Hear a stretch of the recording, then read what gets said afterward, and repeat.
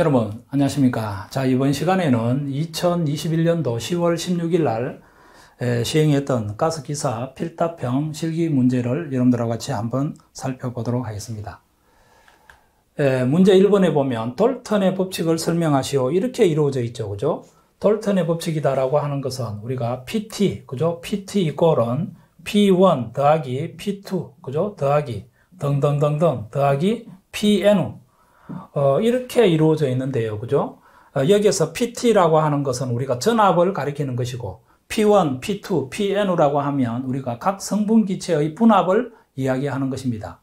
그러면 이 돌턴의 법칙을 설명을 한번 해보면 혼합 기체에서 그죠? 혼합 기체.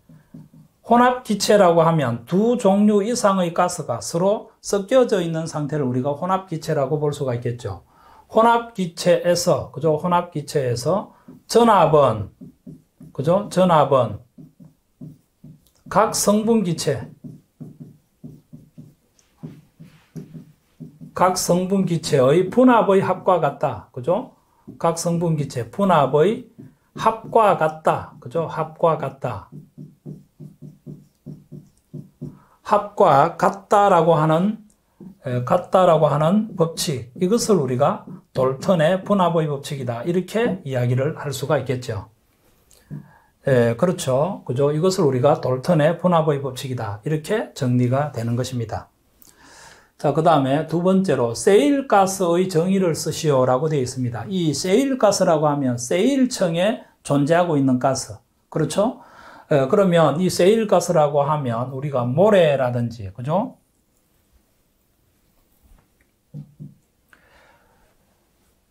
모래, 진흙이 단단하게 굳어지어 단단하게 굳어져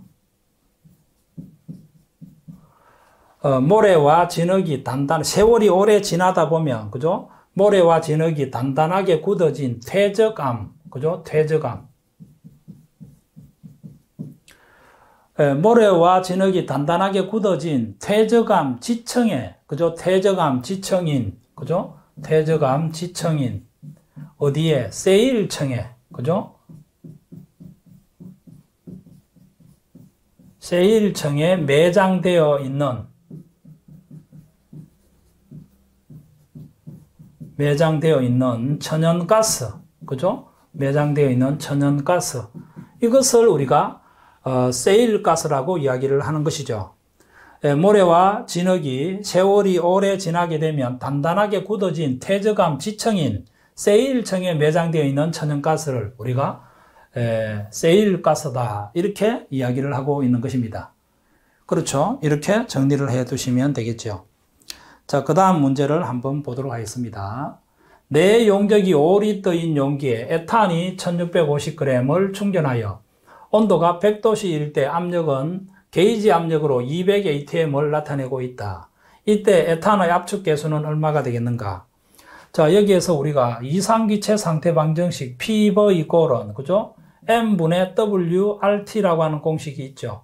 자, 그러면 압축 계수가 주어지면 이상기체 상태 방정식 끝에다가 뭐라고, 그죠? 여기다가 G라고 하는 압축 계수, 이 G가 우리가 압축 계수를 가리키는 것입니다.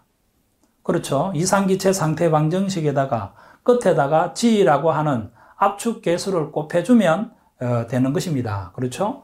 자, 그래서 우리가 여기에서 G 이꼴로 놓게 되니까, 그렇죠? G 이꼴로 놓게 되니까 우리가 어떻게 정리가 되는가, 그죠? 에, 분자에는 PVM이다라고 놓을 수가 있겠고, 분모에는 WRT다 이렇게 정리가 되는 것이죠. 그렇죠? 이렇게 정리를 하실 수가 있겠다. 자, 그러면 여기에서 우리가 한번 보도록 하겠습니다. 그죠? 한번 보도록 하겠습니다. 여기에서 W라고 하면 질량을 가리키고 있는 것이기 때문에 에탄은 1650, 그죠? 1650g이 되는 것이고, 자, 0.082, 그죠? 예, 이상기체 상수 0.082 atm 리터 per 몰 K가 되는 것이다. 자, 그 다음에 곱하기, 예, 절대 온도 273 더하기 온도는 우리가 100도씨라고 되어 있기 때문에 여기에다가 단위를 붙이게 되면 K 값이다. 그 다음 P라고 하는 것은 게이지 압력이 200 atm 이렇게 주어져 있죠. 절대 압력으로 나타내 주셔야 되겠죠. 그죠?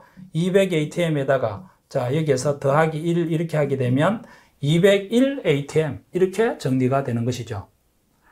자, 절대 압력은 대기압 플러스 게이지압. 그렇죠. 대기압은 우리가 1이다라고 보시면 되겠고, 게이지 압력이 200 atm이다. 이렇게 주어져 있죠. 그 다음 V라고 하면 우리가 5리터가 되는 것이죠. 그죠? 곱하기, 어, 뭡니까? 분자량이라고 하면 에탄이 되니까, 에탄 가스는 C2H6 이렇게 표기를 할 수가 있겠죠. 자, 요것을 우리가 분자량은 30g이 되는 것입니다. 그래서 이 에탄 1몰에 해당이 되는 가스의 분자량은 우리가 몇 그램? 30g이 되는 것이다. 이렇게 볼 수가 있는 것이죠. 에, 그래서 여기서 K, K 이렇게 약분되어서 떨어져 나갑니다. 어, 그 다음에 몰, 몰 약분되어서 떨어져 나가죠. ATM, ATM 떨어져 나갑니다. 리터, 리터 떨어져 나갑니다. 그램, 그램 떨어져 나갑니다. 그러니까 이 압축 계수 값은 단위가 모두 다 약분이 되어서 떨어져 나가겠죠. 자, 이렇게 계산을 한번 해보니까 이 값이 0.6이라고 하는 숫자를 얻어낼 수가 있는 것이죠. 그래서 압축 계수는 단위가 없어요. 그죠? 압축 계수는 단위가 없고 해답이 되는 것은 0.6이다. 이렇게 정리를 하시면 되겠습니다.